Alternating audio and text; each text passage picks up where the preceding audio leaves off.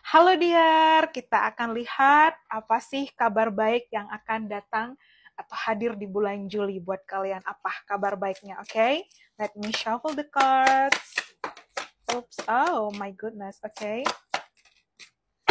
Oke, okay, wow, oke, okay, aku dapat Three of Pentacles, bottom of the deck.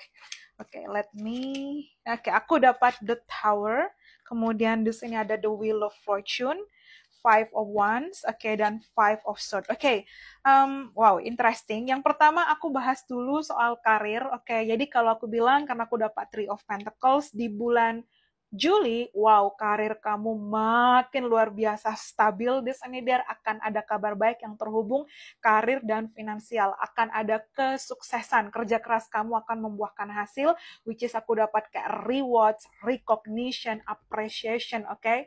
Ada pencapaian yang luar biasa. Oke, okay? ada kabar baik soal karir. Mungkin yes di bulan Juli.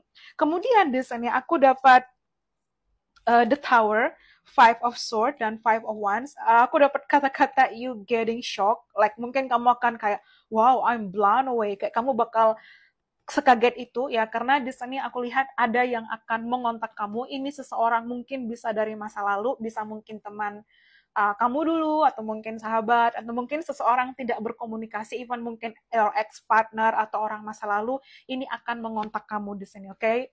ada panggilan telepon yang tidak terduga dari seseorang yang tidak terduga atau mungkin beberapa orang di sini karena aku lihat ada yang akan mengontak kamu ada yang akan menghubungi kamu lagi dan aku lihat ada yang akan mendekati kamu lagi. So ini energi masa lalu datang untuk mungkin meminta maaf mungkin kamu ada konflik sama dia mungkin seseorang dengan egonya tapi aku dapat the tower something unexpected.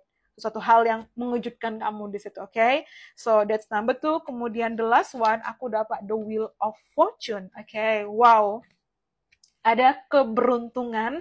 Di bulan Juli akan jadi bulan keberuntungan kalian, ya aku lihat ada keberhasilan, ada kebahagiaan, dan buat kamu yang mungkin memanifestasikan cinta itu hadir. Kalau kamu single, kamu akan bertemu dengan seseorang dan mungkin ada potensi ke arah hubungan jangka panjang, tapi kalau kamu sedang, uh, misalnya sekarang udah in relationship, aku lihat makin hubungan ini makin lebih kuat ya, aku lihat ada pembicaraan serius, oke? Okay? And just ada keberuntungan, keberhasilan, keberlimpahan, even kebahagiaan uh, berlimpah hadir buat kamu yang nonton video ini di bulan Juli. Oke, okay? so mungkin di sini seseorang Pisces, Sagittarius atau mungkin kalian uh, fix sign Aquarius, Leo, Scorpio, Taurus. Even aku dapat di sini energi uh, Aries, Scorpio. Oke, okay? so I hope you enjoy. Thank you.